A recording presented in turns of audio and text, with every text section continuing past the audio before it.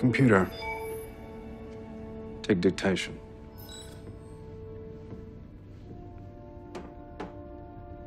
Dear Ma'at, I'm gratified to see your deep interest in Starfleet, and I encourage you to pursue your dream. But there is something you should know about the future. You'll figure out how to say it. Trust me. Who the hell are you? I thought that would have been obvious. I'm you.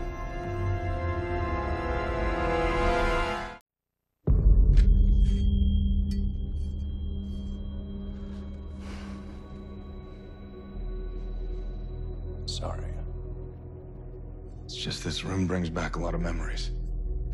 Is this some kind of Joe? No.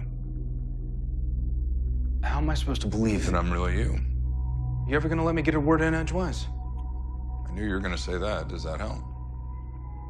I've been doing this long enough that I'm not just gonna take the word of somebody who shows up in my cabin and says he's future me.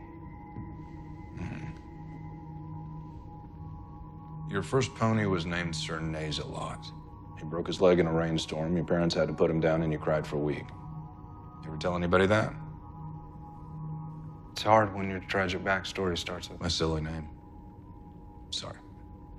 Look, I'm here because that letter you're about to write is going to wreck the future. How the... Uh, why? Two cadets die in that accident seven years from now. Ma'at is one of them. You're trying to figure out how to save the cadets and yourself. And you do. We do. You write to all of them, tell them not to be there that day.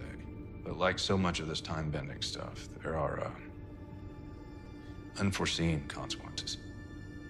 Well, how bad can it be if I figure out a way to save all the cadets and myself? Hell, isn't you standing here evidence that I pull it off? Yes. And that's the problem. Causality is complex. The letter is just the first domino to fall in a chain reaction of events that leads to catastrophic results. It alters the future in ways that we never intended to change. You sound like one of those Klingon monks from Boreth. Who do you think sent me? They gave me something to show you.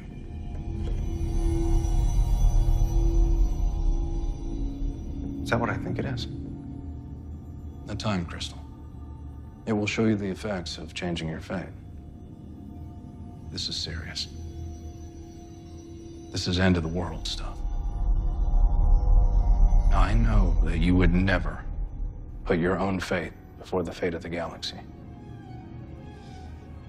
And that's how I convinced the Klingons to let me show you instead. Instead of what? You know the Klingons. Nothing they wouldn't rather solve with a bat'leth.